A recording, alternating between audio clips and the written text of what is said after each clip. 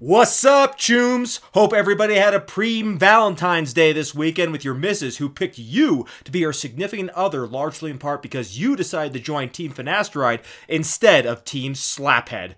100 years ago, who could have imagined that a cosmetic defect as horridly aesthetically unappealing as male pattern baldness could be solved by just taking a simple pill like finasteride? Since 1992, when finasteride first hit the market, millions of men have had their minds put at ease knowing that they can solve all of their hair loss problems by just taking finasteride. For many years, there were no issues with this drug at all. People would take it knowingly, knowing that there was a very small yet acceptable risk of side effects in even if you did get side effects, you could easily mitigate those risks through titration, as it, as it has been shown that finasteride is effective even at less than the standard dosage. Finasteride side effects, as we all know at this point, are rare, mild, and will often go away on their own with continued use and will always go away with discontinuation. The idea that the side effects from finasteride can be prolonged has never been medically verified, yet people still continue to fearmonger because it helps them cope with being bald, miserable slapheads who have given up on life and want to drag everybody else down with them. Because remember, misery loves company. Slapheads will tell you things they know are not true, like shaving your head will make you look like like Jason Statham, Vin Diesel, or The Rock, when the reality is you'll probably end up looking more like that albino kid from the movie Powder, or like that guy from the wife's boyfriend meme. And even if your aesthetics are top tier enough that you can look good despite being bald, chances are you still will drop several points in the aesthetics department since no matter how good a face may look, you need a good head of hair to frame a handsome face. That is why even bald men who look good would still look better if they had a full head of hair hair, and that is only in the best case scenarios. For most people, the results of losing your hair are catastrophic and life destroying. I mean, just take a look at this video from a British dating show.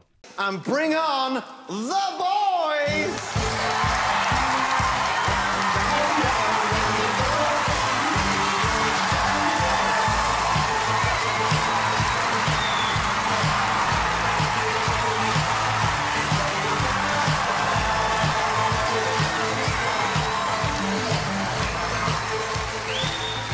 Welcome to the show, sir. Take it away and give it your best shots. Hello, lady. My name is Emmett, and I'm from Roscommon. Hey! Girls, that's Emmett from Roscommon, but tell us, you turned on or turned off?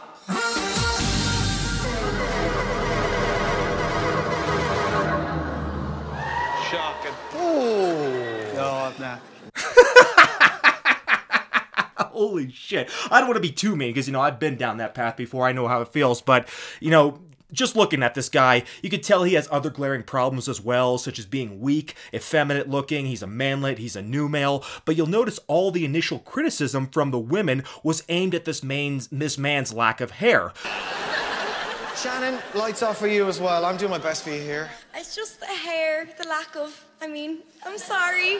So as you can see, it is hair or a lack of hair that leaves the first impression on those you meet, and nothing leaves a worse impression than when someone sees per a person who has a shaved ring of hair that looks like a toilet seat around their head, which is appropriate because in this day of age, you have got to have shit for brains to let yourself go bald. It doesn't matter what your other merits may be. If you don't give a good first impression, people may dismiss you outright, and you leave a terrible first impression when you are bald. So stop stop fearing finasteride and start fearing what will happen to you if you don't take finasteride. So, on that note, let's talk about a common concern many have many men have before beginning finasteride, and that is the development of gynecomastia, aka male breast tissue. So, before I get into this, I think it is important that I distinguish between actual gynecomastia and pseudo gynecomastia. Actual gynecomastia involves the development of breast tissue in men, whereas pseudo gynecomastia is just fat distribution to the chest area, and men who get that can solve it by simply losing weight weight or maybe getting a liposuction. So Real gynecomastia can happen to men regardless of their body composition, as you often see in professional bodybuilders who get gynecomastia. Even though they're extremely lean, you'll see some female breast tissue on them. And often this is because they use supraphysiological levels of testosterone, which can then aromatize into estrogen. And even though this is an extreme example of how gynecomastia can happen in men, the mechanism behind finasteride possibly causing this side effect is similar, even though, as we'll see, this is an extremely rare side effect of finasteride, so the level of hysteria and concern people have over this is way overblown, but nevertheless, let's take a look at this balls deep as we always do. So, the mechanism behind finasteride is well understood at this point. We know it suppresses the type 2 5A reductase pathway that converts testosterone into dihydrotestosterone hydrotestosterone, which is the trash hormone that makes us go bald and does a whole bunch of other really horrible things.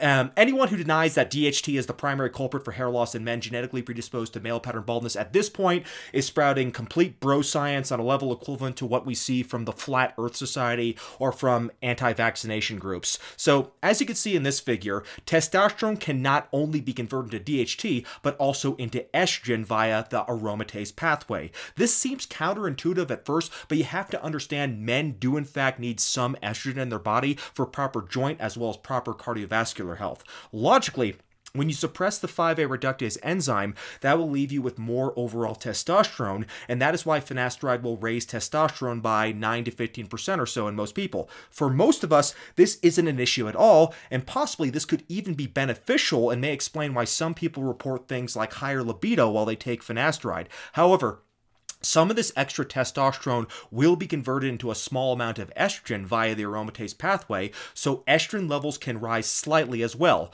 For most of us, this is negligible and we won't even notice it, but this could be why some people do get side effects from finasteride, such as lower libido as well as gynecomastia. So before anyone freaks out about this, let's discuss the actual incidence of gynecomastia on finasteride. How common is it really? Well, if you look at the package insert for Proscar, which is the 5 milligram milligram tablet of finasteride as opposed to Propecia, which is a 1 milligram tablet, you can see that they looked not specifically at gynecomastia as a side effect, but instead they looked at the incidence of breast enlargement and breast tenderness, which are not necessarily equivalent to gynecomastia. In any case, they looked at about 1,500 patients on Proscar versus 1,500 patients on placebo and saw the breast enlargement was seen in 1.8% of patients on finasteride for up to four years versus 1.1% of patients on placebo placebo. The incidence of breast tenderness was up to 0.7% on finasteride and 0.3% on placebo. They also included data from another study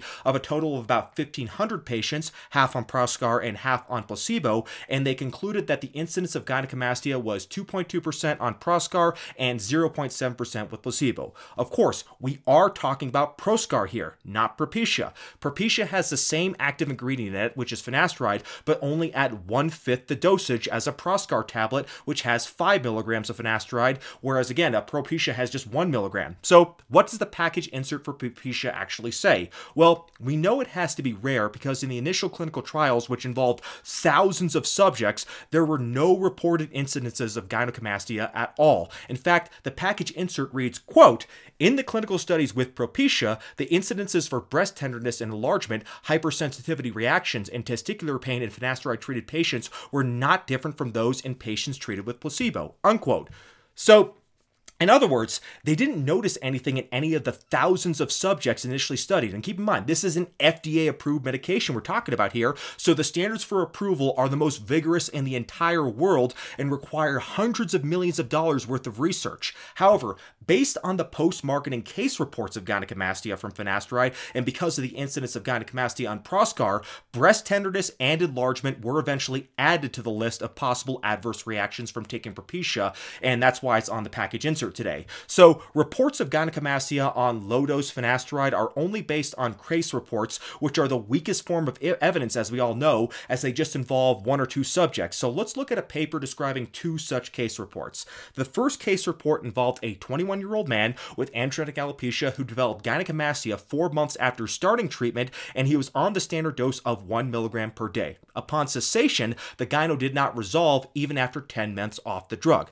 Now, normally, I'd say any reports of prolonged side effects from finasteride are completely bogus, but in this case, we're talking about tissue development. So it is true that if you do get gynecomastia from finasteride, you may need surgery to rectify this. So this young man's case is rare, but it's not completely implausible since you can't reverse tissue development without surgery in most cases. So And the second case report, this paper dealt with an older individual this time. He was 65 years old uh, and he had androgenetic alopecia. It wasn't specified how severe it was, but he had, but he developed gynecomastia after two months of treatment. And his case was unilateral, meaning only one breast was enlarged. Fortunately for him, though, the side effects did dissipate after two months off treatment, but he still had some very slight swelling six years after stopping treatment. And this was probably as a result of some breast, breast tissue uh, development that never completely resolved even after he stopped taking the drug. So he probably would need surgery as well. So in this paper, they also reviewed the literature on gynecomastia with finasteride.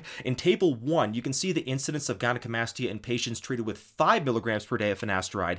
In the largest study involving over 14,000 patients, the reported incidence of gynecomastia was only 0.3%, namely 42 out of 14,722 patients.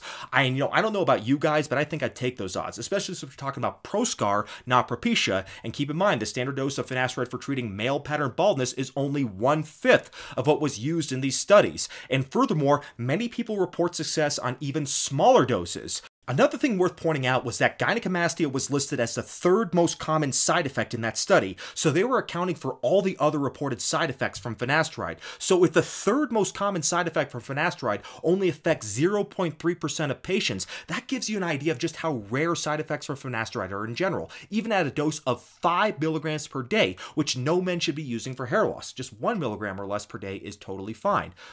Of the other studies in this table, as you can see, though, the highest incidence was 4.5% in a study of 9,423 patients, and the lowest was 0% in a study of 70 patients. But again, in the largest study by far, the incidence was only 0.3%. They then show a table showing the incidence of gynecomastia from using dutasteride, which is interesting. Dutasteride, even though it isn't as well studied as finasteride for fighting hair loss, especially long term, is still known to suppress more DHT than finasteride, so it may possibly increase estrogen levels more since there will be even less testosterone being converted into, into DHT and more converted by aromatase into estrogen compared to finasteride. So if you look at the table, you can see the studies have a similar uh, but smaller sample size compared to the finasteride studies, but they seem to show a higher incidence of gynecomastia with all the studies except for a small study involving 68 patients showing zero cases, which could be a classic argument as to why having a large sample size is so important for these kind of studies.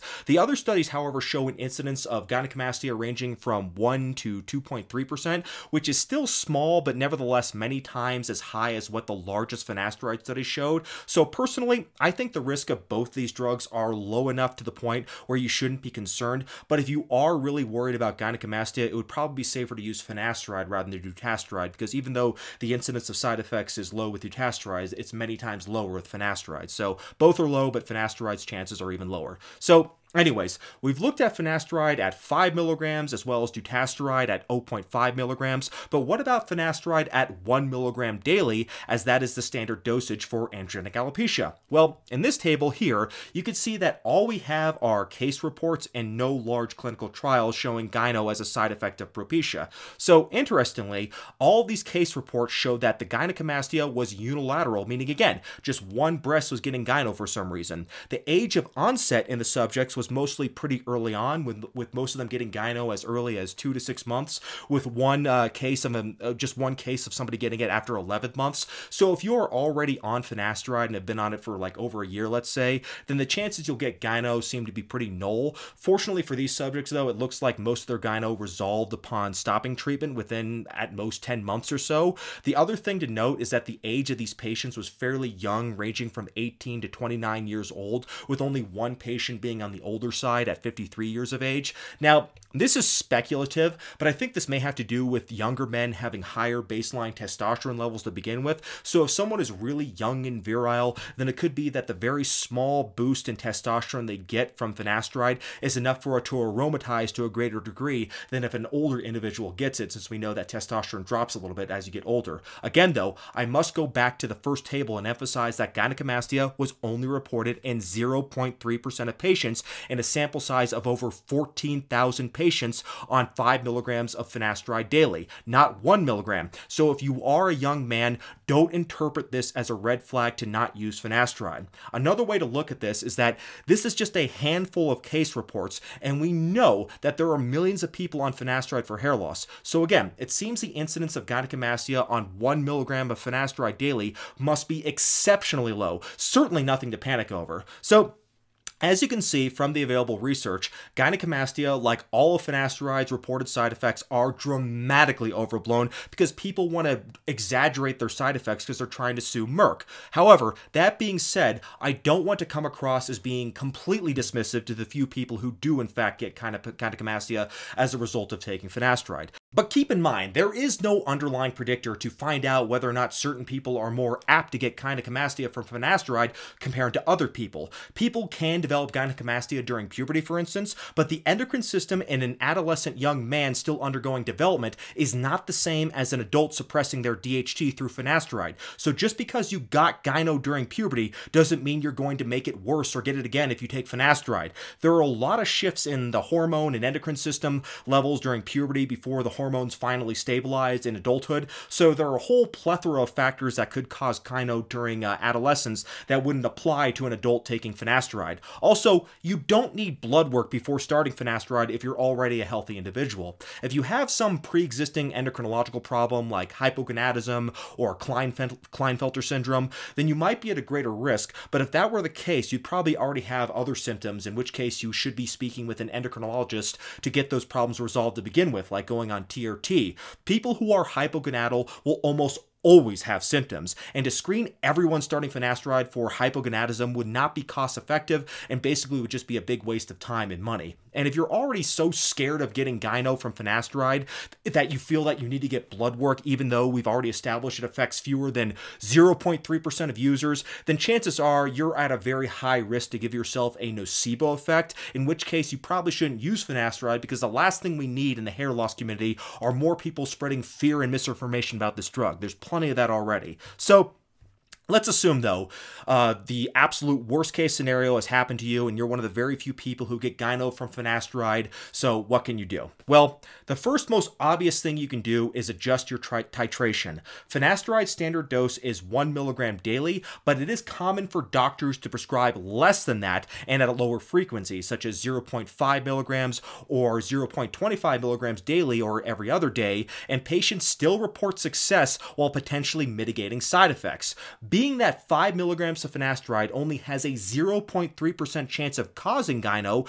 then it seems like the chances on just a fraction of that would be very low, unfathomably low, in fact. But failing that, what else can you do? Well, there are prescription aromatase inhibitors you can use like Arimidex or Letrozole, although these drugs aren't considered very cardiovascular friendly, meaning they have the tendency to raise our cholesterol levels. Although keep in mind, a doctor who would prescribe you an aromatase inhibitor for something like gyno would probably do so at an adjusted titration, which might mitigate these risks, although none of these drugs are completely risk-free. Another drug that could be prescribed would be something like tamoxifen, which is also known as Nolvadex Nolvadex, which has a similar outcome but different mechanism, as it is not an aromatase inhibitor, but rather it is a SERM, not to be confused with SARMs. SERM stands for Selective Estrogen Receptor Modulator, which works as an estrogen receptor antagonist in the breast tissue. Unfortunately, Nolvadex isn't very side effect friendly either, and one of its reported side effects is even hair loss, which kind of defeats the purpose of using finasteride to begin with.